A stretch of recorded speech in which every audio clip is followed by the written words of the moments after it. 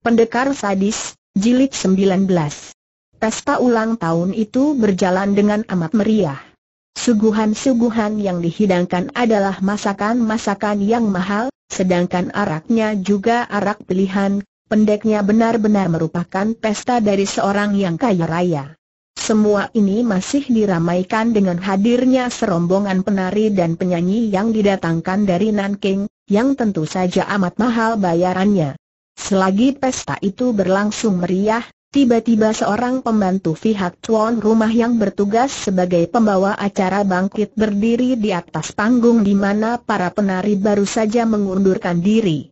Musik pun berhenti dan terdengar suara orang itu lantang. Dimohon perhatian Cui yang mulia.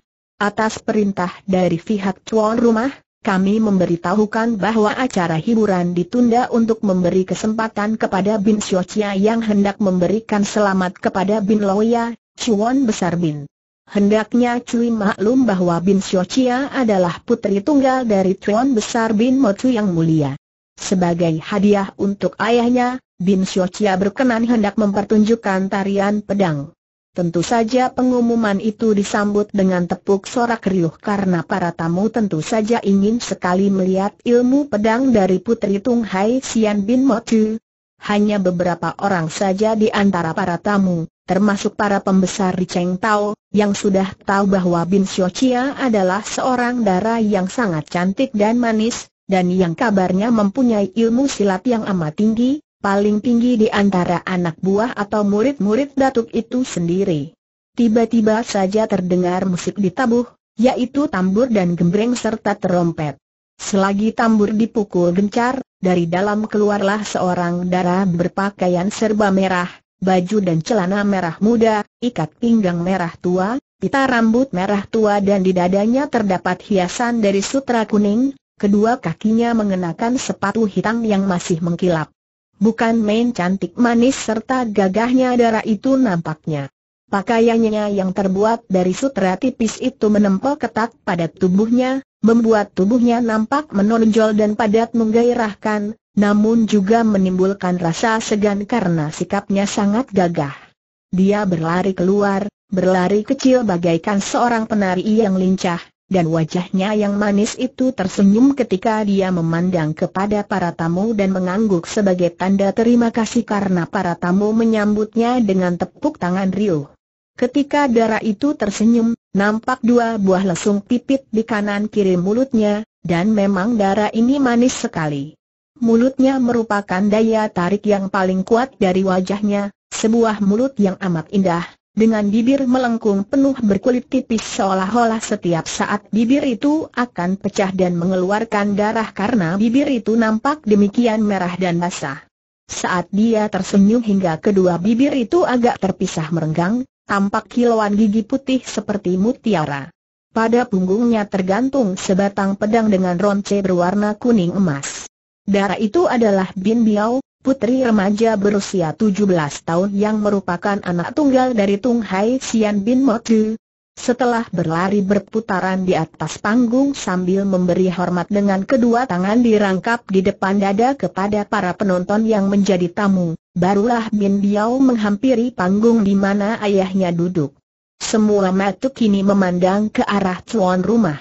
Tung Hai Sian adalah seorang kakek berusia 60 tahun yang berpakaian mewah, di kanan kirinya duduk dua orang wanita setengah tua yang juga berpakaian mewah. Di sebelah kanan itu adalah istrinya yang pertama, sedangkan di sebelah kirinya adalah istrinya yang kedua atau ibu kandung Bin Biao. Istri pertamanya tidak mempunyai anak dan dia adalah seorang wanita Jepang, tidak seperti ibu Bin Biao yang merupakan wanita Korea, bertubuh tinggi langsing seperti Bin Biao. Tung Hai Sian sendiri bertubuh pendek tegap dan bersikap gagah, biarpun usianya sudah 60 tahun namun dia masih nampak kuat, hanya kepalanya saja yang telah botak kelimis, hanya ditumbuhi rambut di bagian belakang dari dekat telinga sampai ke pelipis. Ubun-ubun dan atas dahinya sudah tidak ada rambutnya sama sekali. Di pinggangnya tergantung sebatang pedang samurai yang sarungnya amat indah. Kedua matanya yang lebar itu sangat tajam, dan alisnya hanya merupakan bundaran hitam kecil saja yang ditumbuhi rambut pendek-pendek. Biarpun Tung Hai Sian sudah menjadi datuk dunia persilatan di daratan Tiongkok, bahkan sudah berganti nama dengan nama Bin Motu sebagai pengganti nama Minamoto, namun di dalam kesempatan gembira merayakan hari ulang tahunnya yang ke-60 tahun itu, kini kakek ini mengenakan pakaian seorang samurai Jepang.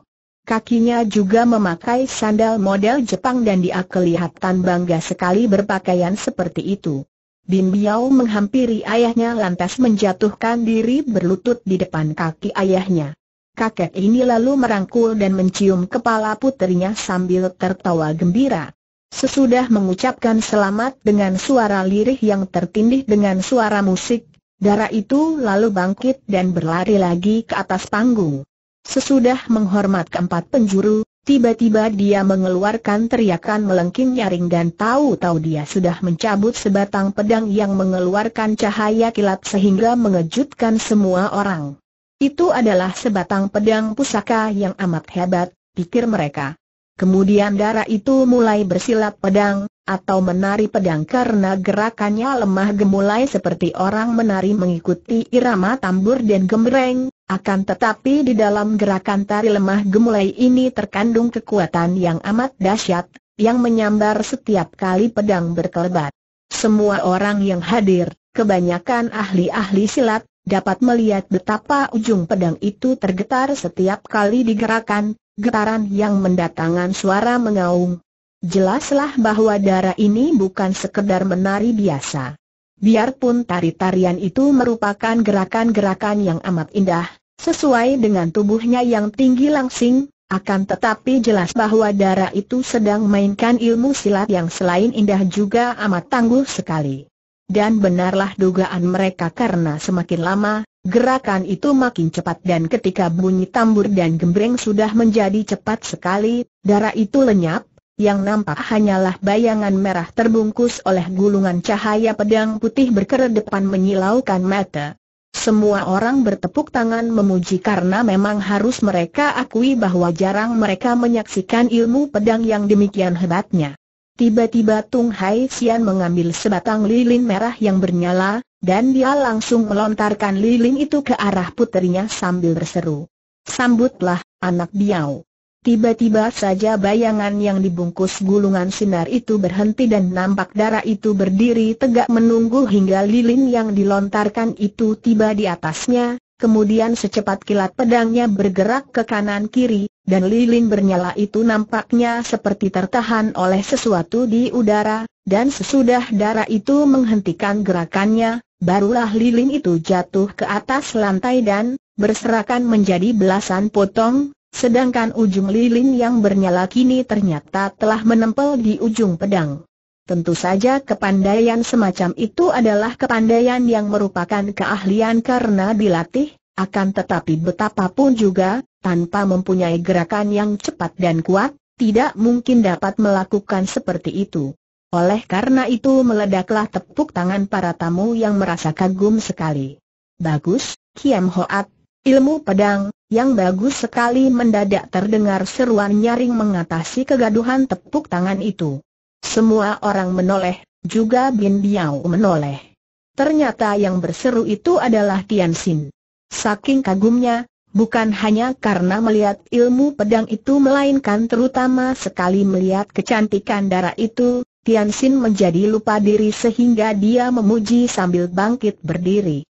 Melihatlah adiknya ini, Han Tiong menjadi kaget sekali dan dia maklum bahwa adiknya itu tentu merasa tertarik sekali pada darah yang cantik itu, karena dia pun sudah tahu akan kelemahan hati adiknya terhadap wanita cantik.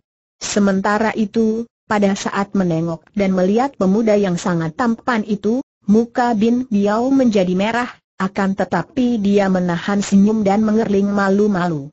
Hati siapa tak akan merasa girang dan bangga kalau dipuji, terutama sekali hati seorang wanita yang selalu haus akan pujian, dan lebih-lebih lagi kalau pemujinya adalah seorang pemuda yang demikian gantengnya. Juga Bin Motu yang bangkit berdiri, dari atas dapat melihat pemuda tampan gagah yang mengeluarkan seruan pujian itu, Maka dia lalu tersenyum dan memberi perintah kepada pembawa acara dengan kata-kata lirih. Pembawa acara itu segera bangkit dan menuju ke panggung, kemudian berkata dengan lantang, kami menyampaikan permintaan Bin Loya kepada Cui yang terhormat, bahwa untuk meramaikan pesta ini dan untuk menguji kepandaian Bin Siocia, maka kepada para pendekar muda yang ingin menambah kemeriahan pesta ini dipersilakan untuk melayani Bin Siocia bermain pedang. Ucapan itu tentu saja langsung disambut dengan riuh rendah dan semua tamu tertawa. Pengumuman itu sudah tidak aneh lagi artinya bagi orang-orang Kang Ou, jika seorang ayah memberi kesempatan kepada orang-orang muda untuk bertanding dengan putrinya, hal itu dapat diartikan bahwa Seng ayah hendak mencarikan jodoh bagi putrinya. Hampir semua tokoh Kang Ou tentu saja menghendaki mantu yang lihai bagi putrinya, maka selalu diadakan sayembarat pertandingan silat untuk memilih mantu. Dan agaknya Datuk wilayah timur ini pun tak mau ketinggalan. Akan tetapi, Siapakah yang berani untuk maju? Sebagian besar dari mereka sudah kehilangan nyali menyaksikan permainan pedang dari Bin Biao tadi, yang memang sangat lihai. Apalagi kalau diingat bahwa Dara itu adalah putri tunggal dari Tung Hai Sian, mereka merasa lebih sungkan dan segan lagi. Tidak boleh main-main dengan keluarga Datuk itu. Semua orang memandang ke arah Tiansin yang masih berdiri, juga darah itu sendiri memandang kepadanya, agaknya mengharapkan pemuda tampan itu untuk maju. Dan Tiansin memang sudah merasa gatal tangan dan hatinya untuk maju menandingi nona manis itu, akan tetapi tiba-tiba dia merasa tangannya disentuh dan ditarik oleh kakaknya dan terdengar bisikan Kong Liang. Tiansin, kau duduklah. Tian Sin segera teringat bahwa dia hanya ikut saja dengan pamannya itu dan dia sama sekali tak diperbolehkan bergerak sebelum mendapat perkenan Chia Kong Liang, maka dia pun lalu duduk kembali. Bin Biao tampak kecewa, akan tetapi tidak demikian dengan Tung Hai Sian, sebab datuk ini tentu saja tidak menghendaki seorang menantu dari golongan rendah, yaitu golongan tamu yang duduk di bawah panggung. Sejak tadi perhatiannya tertuju kepada Siang Kuan Wei Hong. Pemuda yang baru pertama kali dilihatnya ini tentu saja amat menarik perhatiannya, apalagi setelah memperkenalkan diri sebagai putra Pak San Kui. Pemuda yang cukup gagah dan tampan, terlebih lagi putra Pak San Kui, sungguh akan merupakan pasangan yang cocok bagi putrinya, setingkat, bahkan segolongan. Maka, diam-diam dia mengharapkan pemuda itu untuk maju menandingi puterinya agar dia dapat melihat kelihayan pemuda itu yang sebagai putra Pak San Kui dia yakin tentu berkepandaian tinggi. Ternyata tidak ada orang yang berani sembarangan naik ke panggung untuk menyambut ajakan Tung Hai Sian tadi. Banyak di antara mereka yang merasa jeri untuk menandingi ilmu pedang yang demikian lihainya dari Bin Biao, akan tetapi sebagian besar di antara mereka itu lebih merasa segan terhadap Tung Hai Sian sendiri. Apalagi mereka yang duduk di bawah panggung, andai kata di antara mereka ada yang merasa kuat melawan Bin Biao sekalipun, agaknya mereka pun masih harus pikir-pikir beberapa kali untuk berani memamerkan kepandaian di hadapan datuk itu, apalagi dalam kesempatan di mana hadir begitu banyak tokoh-tokoh besar dunia persilatan.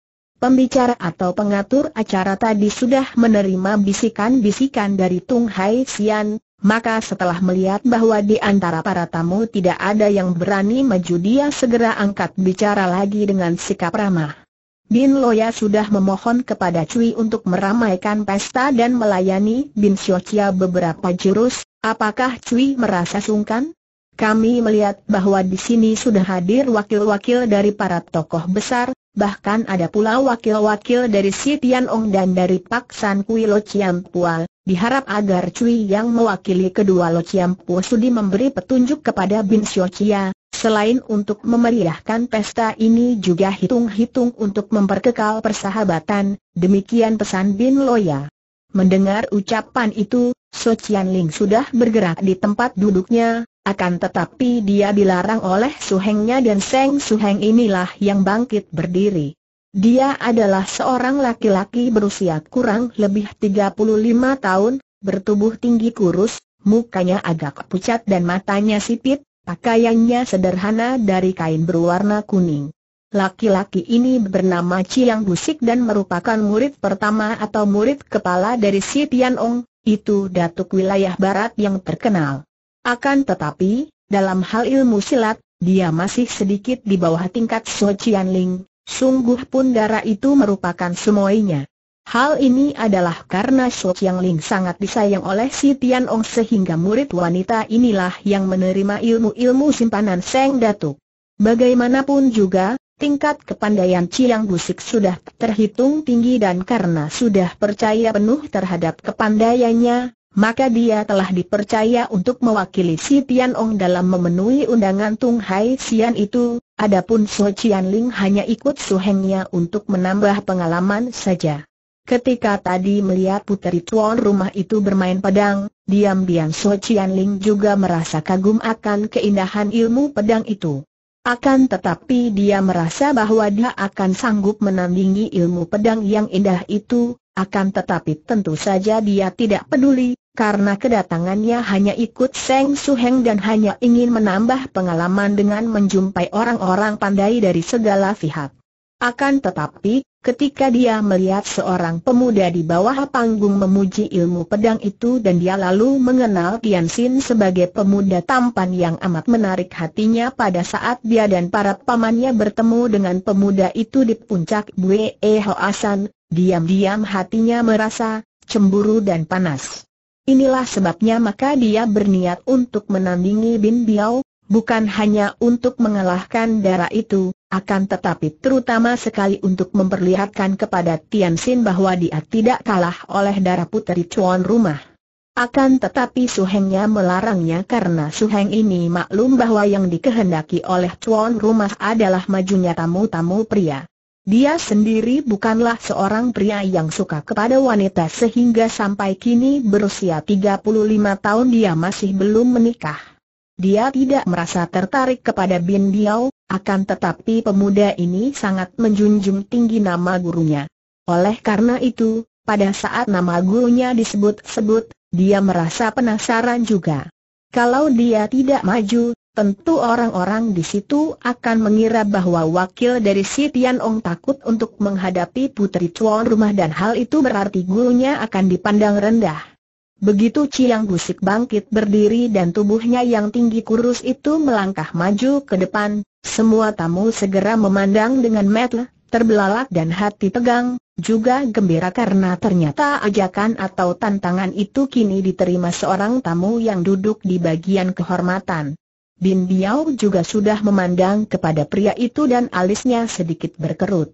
Dia telah bermufakat dengan ayahnya untuk memilih calon jodoh, dan melihat pria yang maju ini, jelas bahwa dia tidak akan sudi berjodoh dengan orang ini. Sungguh pun dia tahu dan sudah diperkenalkan tadi bahwa pria ini adalah murid kepala dari Si Tian Ong.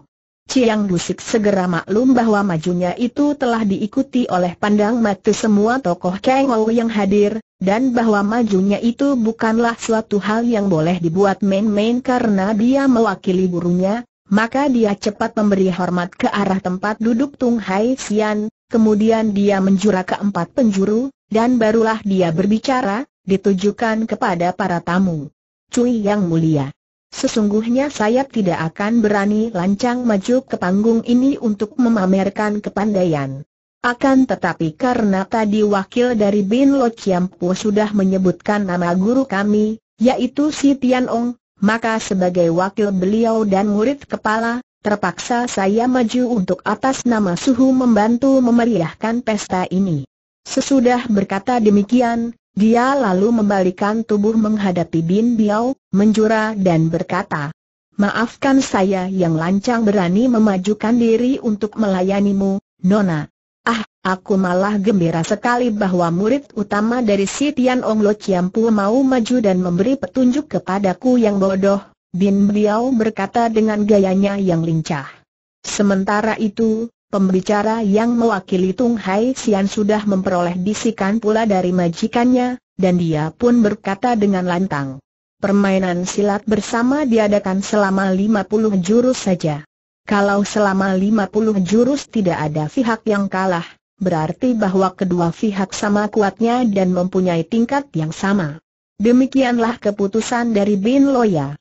Bin Biao tersenyum manis, lalu menggerakkan pedangnya di depan dada dan berkata, Silakan Ciang Sicu memilih senjata. Ciang Busik meraba pinggangnya dan mengeluarkan senjatanya yang ternyata adalah sebuah senjata yang disebut Kim Choa John Pian, cambuk ular emas, semacam ruyung lemas yang dapat dipergunakan sebagai ikat pinggang, gagangnya berbentuk kepala ular terbuat daripada emas. Tar.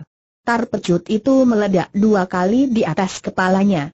Bin Xiaoqia, saya sudah siap katanya dengan tangan kanan yang memegang John Pian di atas kepala dan tangan kiri miring di depan dada, kaki kiri diangkat dan ditekuk di depan tubuhnya, sikapnya tenang dan kokoh sekali. Bin Biao tersenyum, lalu membentak. Lihat serangan. Pedangnya sudah meluncur dengan cepat membentuk sinar kilat menuju ke dada lawan. Tar. Tringkok. John Tian itu berubah menjadi lurus kaku dan menangkis pedang, kemudian meluncur ke samping. Pada saat itu, pedang yang tertangkis sudah menerjang lagi, dan pecut itu dari samping langsung menyambar ke arah pundak serta sambungan siku yang memegang pedang, melakukan totokan untuk mendahului gerakan pedang. Hem Bin Biao terpaksa mengelak dan dengan sendirinya tusukannya pun batal, dan diam dia tahu bahwa lawannya ini amat tenang dan amat lihai maka dia berlaku hati-hati dan segera memutar pedangnya sedemikian rupa sehingga tubuhnya diselimuti gulungan sinar pedang yang berkilauan. Melihat ini, murid si Tian Ong itu pun cepat memutar John Tian di tangannya sehingga nampak sinar keemasan bergulung-gulung. John Pian itu memang gagangnya terbuat dari emas murni sedangkan John Piannya sendiri terbuat daripada baja di selaput emas maka sinarnya menjadi keemasan. Kini tampaklah pemandangan yang amat indah menyilaukan mata ketika dua gulungan sinar yang putih berkilauan dan keemasan saling sambar dan saling desak. Bagi mata orang yang kurang tinggi kepandaiannya, tentu sukar untuk dapat mengikuti gerakan kedua orang itu. Gerakan mereka amat cepat dan kuat, dan keduanya mengadu kepandaian dengan mengerahkan tenaga dan keduanya berusaha untuk menang karena bagi mereka pertandingan itu merupakan adu kepandaian untuk mempertahankan nama guru mereka masing-masing. Bin Biao tidak lagi bertanding untuk menguji kepandaian seorang laki-laki yang mungkin menjadi calon jodohnya, akan tetapi hendak mempertahankan nama ayah sekaligus juga gurunya agar tidak kalah oleh murid si Tian Ong Datuk dari barat itu.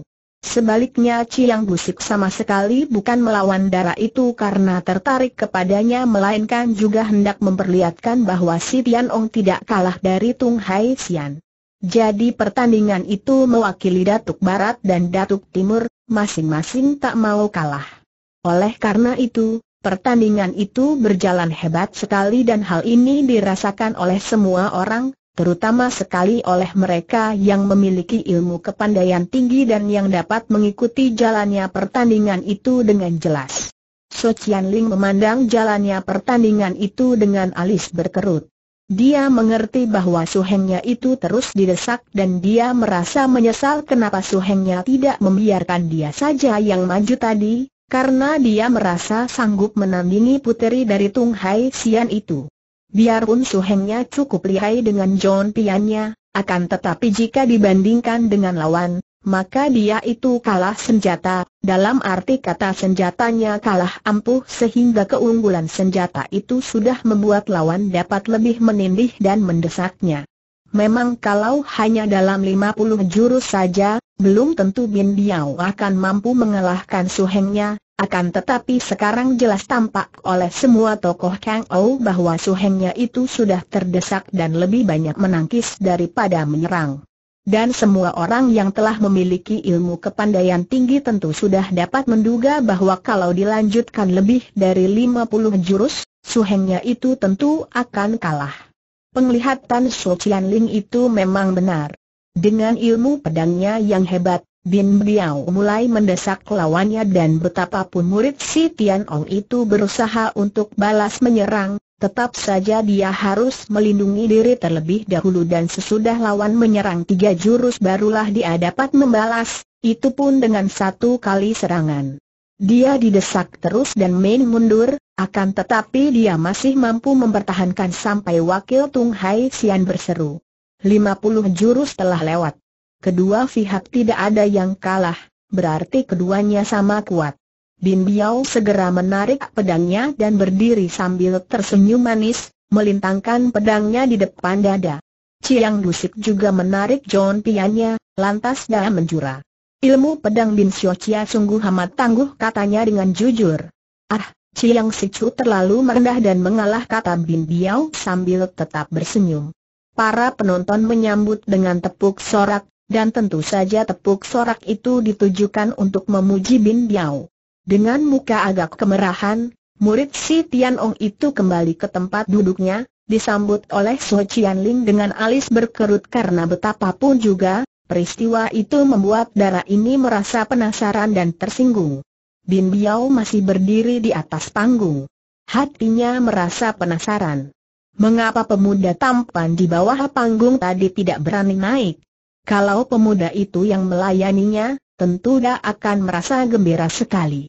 Tapi Kong Li yang sudah berbisik-bisik kepada dua orang keponakannya itu. Janganlah kalian sembarangan bergerak. Di sini terdapat banyak sekali tokoh Kang Ou yang lihai. Dan ternyata Chuan rumah tidak menghargai Chin Ling Pai. Hem, kalian lihat saja hal ini tak dapat kudiamkan saja. Apakah paman hendak melayani nona itu Tian Sin berbisik. Kalau perlu, akan kuperlihatkan bahwa kita tidaklah kalah dengan mereka yang duduk di atas panggung diam-diam Kong Liang merasa penasaran dan marah sekali karena dia dan dua orang keponakannya, meskipun telah mengaku sebagai wakil Chin Ling Pai, tetapi tetap saja dipersilakan duduk di bawah panggung.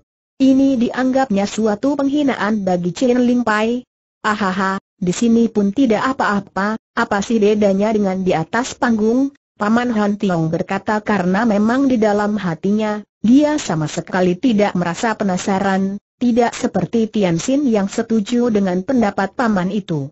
Bagi kita pribadi memang tidak ada bedanya, akan tetapi kita sedang membawa nama Chin Ling Pai, dan kalau orang tidak menghormati Chin Ling Pai, maka aku tidak bisa tinggal diam saja.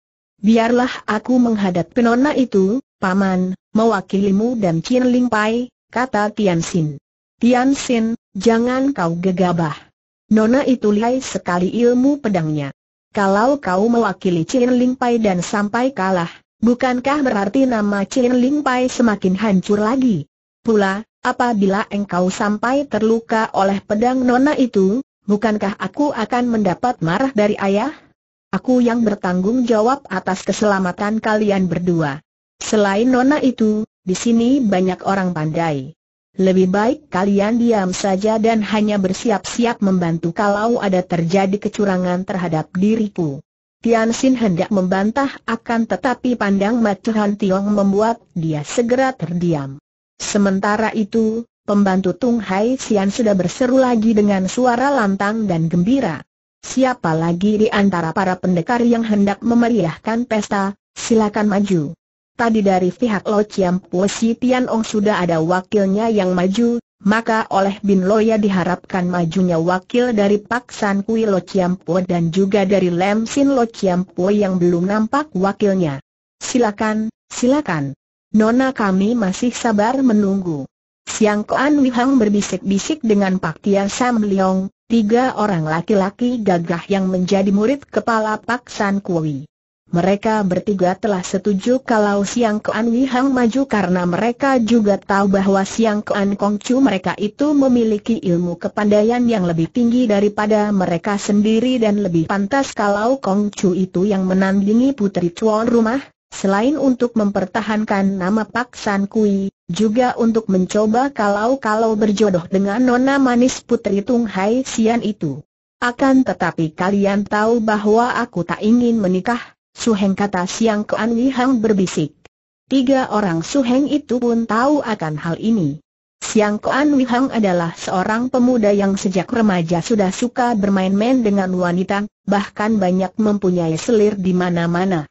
Akan tetapi anehnya, pemuda ini tidak pernah mau mengikatkan diri dengan pernikahan, maka meskipun dia kagum melihat kecantikan Bin Biao, tetap saja dia tidak bermaksud untuk membiarkan diri menjadi calon suami Nona itu.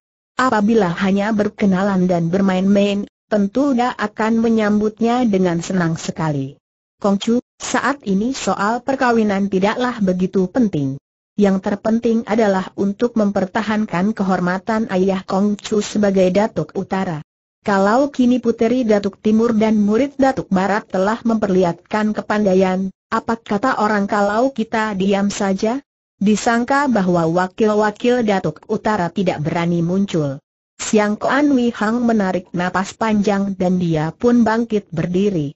Melihat ini, hati Tung Hai Sian girang sekali. Dia ingin sekali melihat sampai di mana kelihayan putra dari Pak San Kui itu yang kabarnya merupakan seorang yang selain lihai dan dikenal sebagai datuk, juga seorang yang sangat kaya raya. Kiranya sudah cocoklah kalau dia berbesan dengan Pak San Kui, akan tetapi lebih dulu dia harus melihat kemampuan pemuda yang tampan dan pesolek itu.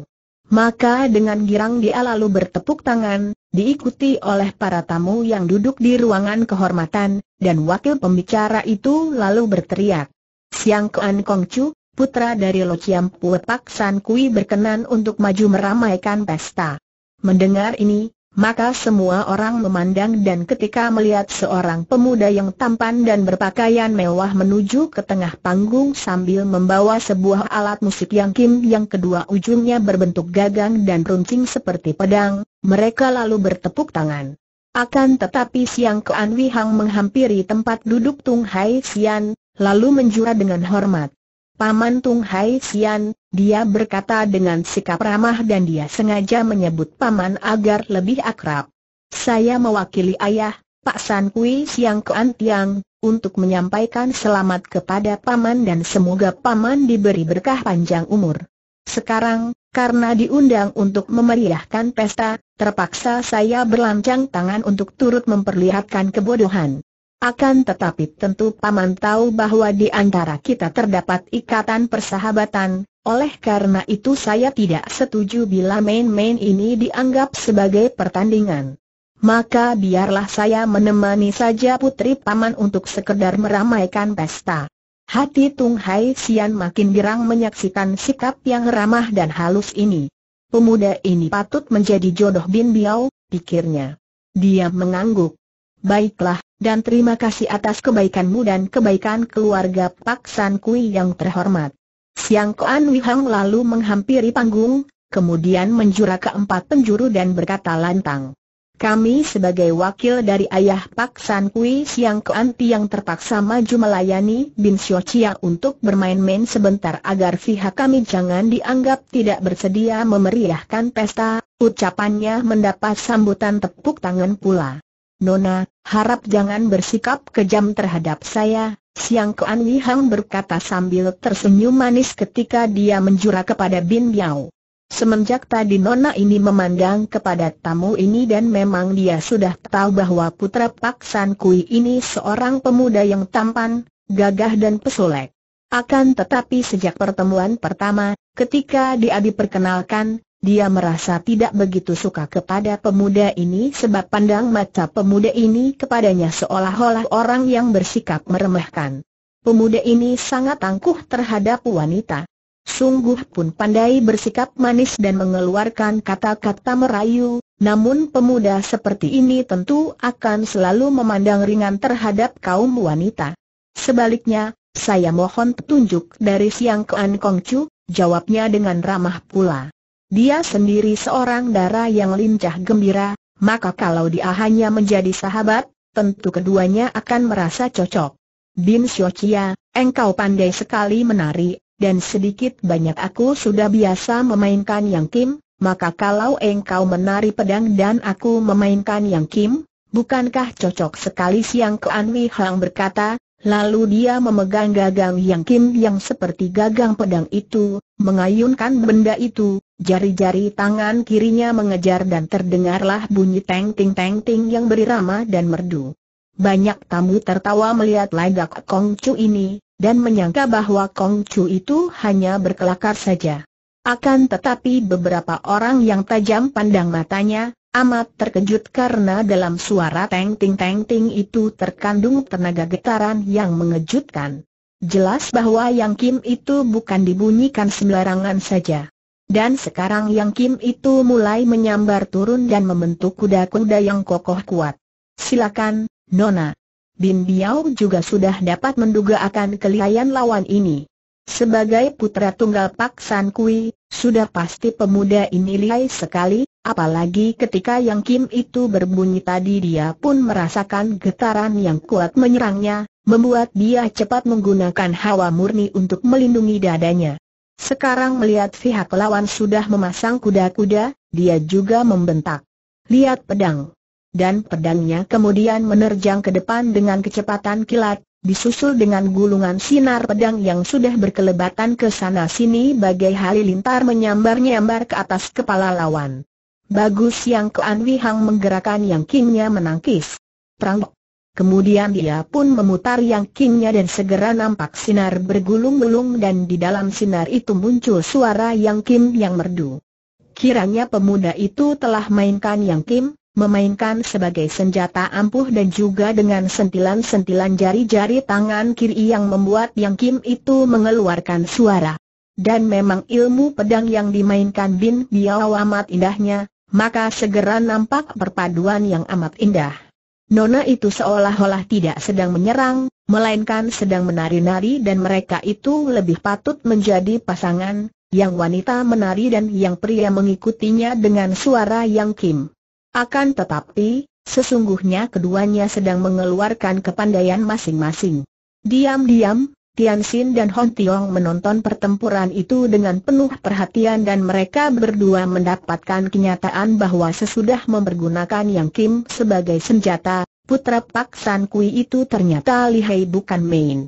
Kiranya memang keistimewaannya adalah mempergunakan Yang Kim itu sebagai senjata. Kalau dulu pada waktu berhadapan dengan Tian Xin dia mempergunakan yang kimnya itu, agaknya tidak akan mudah bagi Tian Xin untuk mengalahkannya. Memang hebat pemuda itu. Yang kimnya bukan hanya merupakan senjata yang ampuh, terbuat dari logam yang dapat dipakai untuk menangkis senjata pusaka, akan tetapi juga suara yang keluar dari Yang Kim itu merupakan serangan-serangan ke arah jantung dan batin lawan. Jantung pihak lawan dapat digetarkan lewat suara-suara itu, bahkan dapat dikacaukan pikirannya selagi mereka bertanding. Hal ini agaknya belum diketahui benar oleh Bin Biao, maka darah ini merasa sangat penasaran ketika melihat betapa semua serangannya gagal oleh tangkisan alat musik lawan. Bin Biao mulai marah.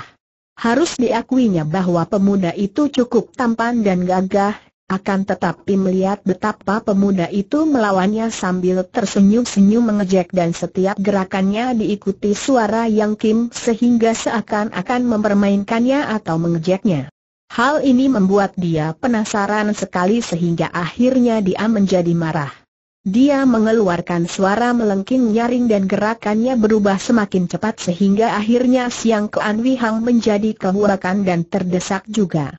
Akan tetapi tiba-tiba yang Kim itu mengeluarkan bunyi yang aneh, suaranya nyaring sekali dan makin lama meninggi dan tiba-tiba saja permainan pedang Bin Biao menjadi kacau balau.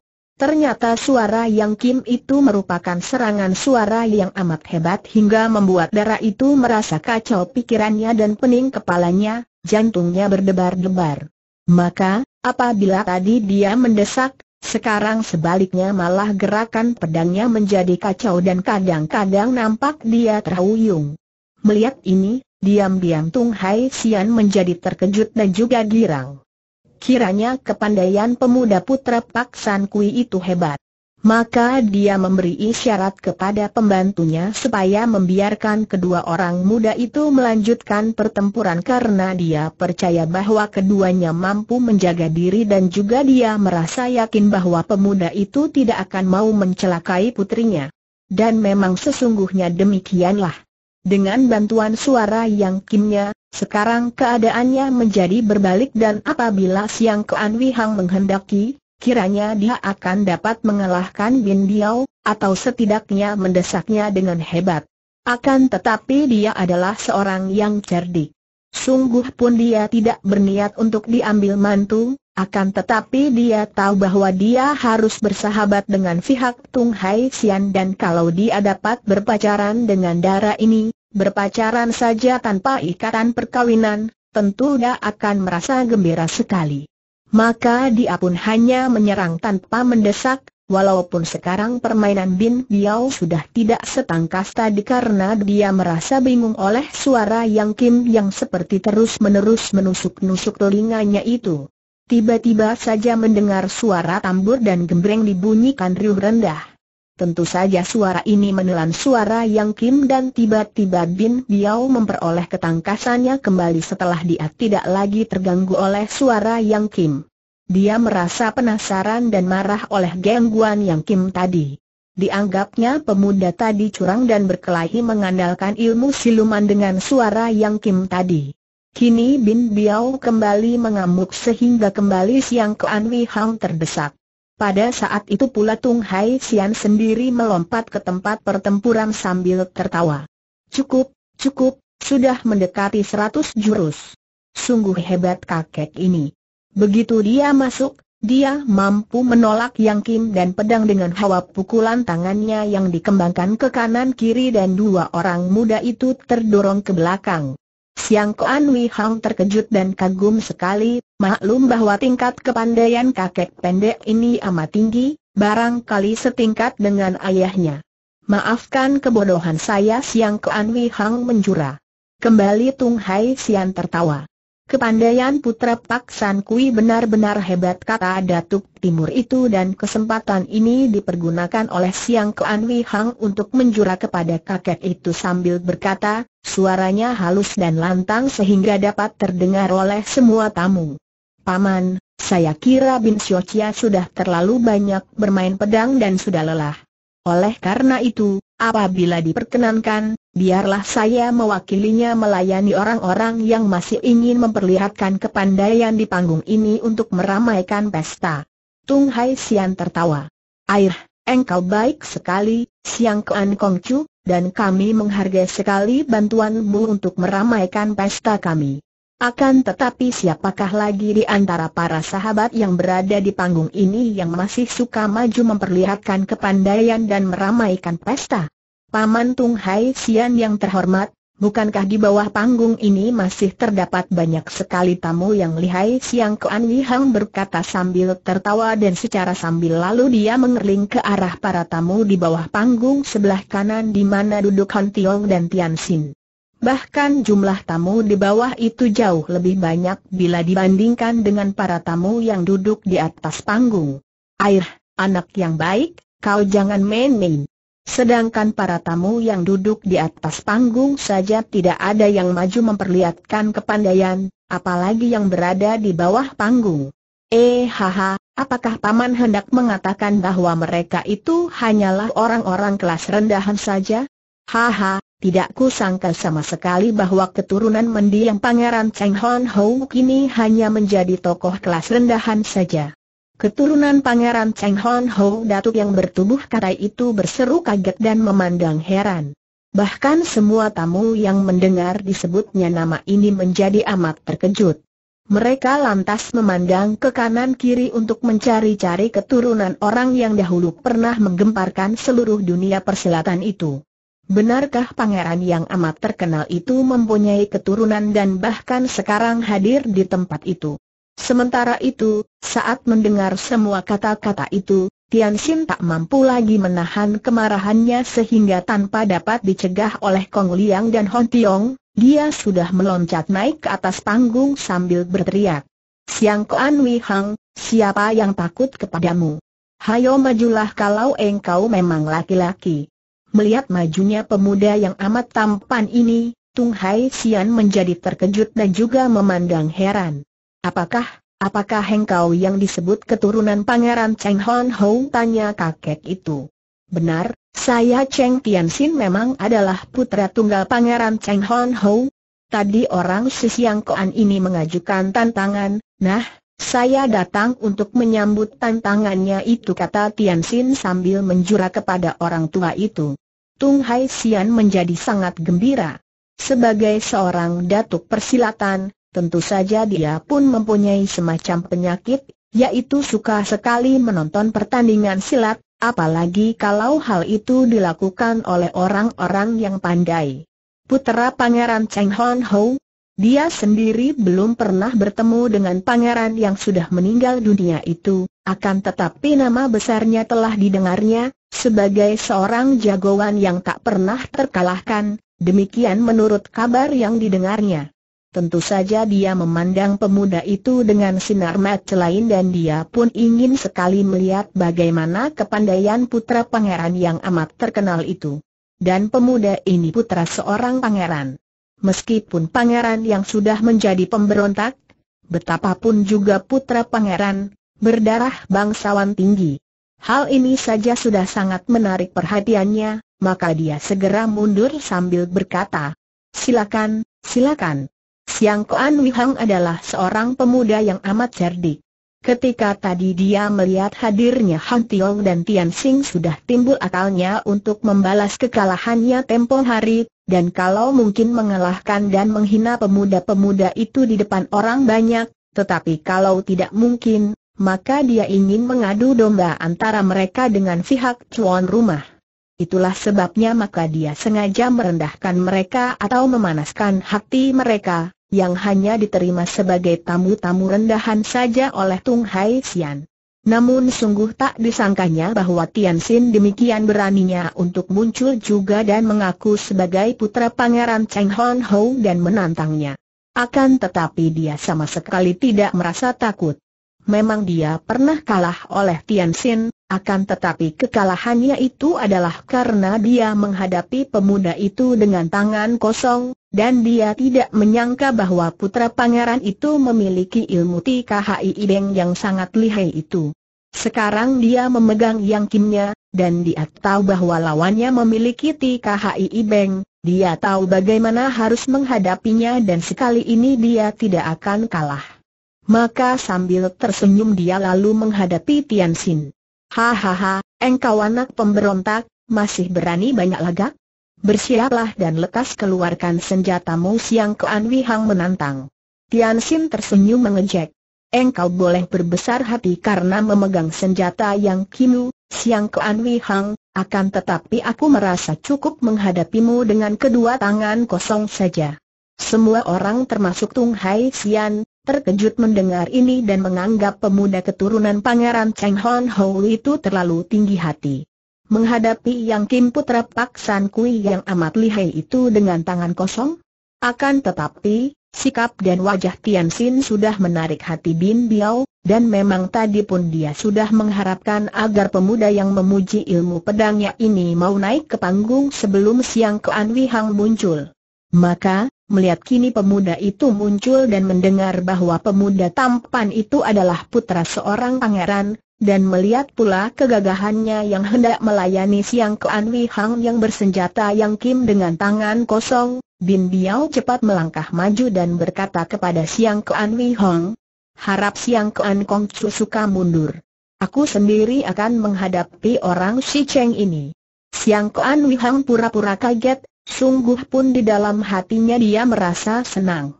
Betapapun juga, agaknya dia akan berhasil mengadu domba antara Tian Sin dan pihak cuan rumah. Ahaha, tapi aku sudah sanggup untuk menandinginya. Siang Kuan Kong Chu, ingat bahwa engkau tadi bertindak sebagai wakilku, tanpa bertanya apakah aku mau kau wakili ataukah tidak. Dan sekarang aku mau menyatakan bahwa aku tidak ingin kau wakili untuk menghadapi siapa pun yang naik ke panggung ini.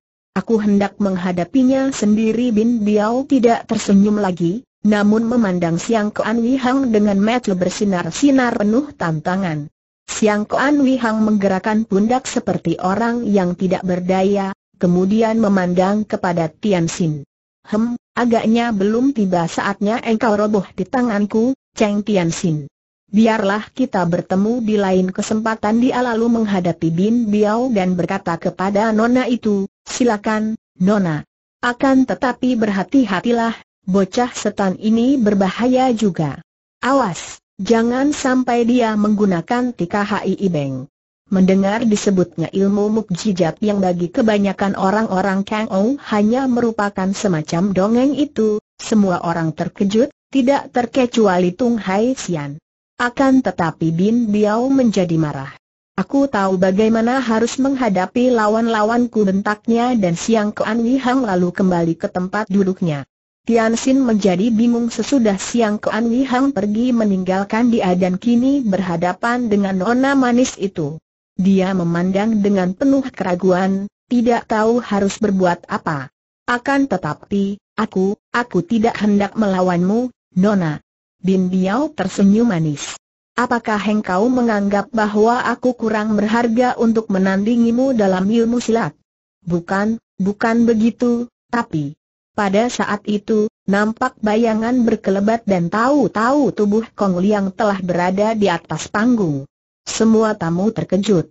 Itulah gerakan yang amat ringan dan cepatnya, membayangkan ginkang tingkat tinggi dan kini semua mata ditujukan kepada pemuda yang bertubuh tegap dan gagah ini, yang berdiri tegak dan memandang kepada Tian Sin lalu berkata, Tian Sin, kau kembalilah ke tempatmu. Tian Sin memandang pamannya dan dia segera tahu bahwa pamannya itu marah sekali kepadanya. Lantas teringatlah dia bahwa dia datang sebagai anggota rombongan wakil Chin Ling Pai dan bahwa tadi dia meloncat ke atas panggung tanpa perkenan pamannya, maka dia merasa bersalah. Tadi dia berbuat seperti itu karena tidak dapat menahan kemarahan hatinya ketika nama ayahnya disebut-sebut oleh Siang Kuan Wei Hong. Dan kini, berhadapan dengan pamannya yang marah, dia hanya dapat mengangguk saja. Maafkan, paman, katanya dan dia pun melompat turun, kembali ke tempat duduknya di dekat Han Tiong yang memegang lengan adiknya dan menyuruhnya sabar dengan satu tepukan tangan pada bahunya. Sementara itu, Tia Kong Liang yang kini telah berdiri di atas panggung, segera memberi hormat ke arah tempat duduk Tung Hai Sian dan keempat penjuru, ke arah penonton. Sikapnya dingin dan sinar matanya angkuh.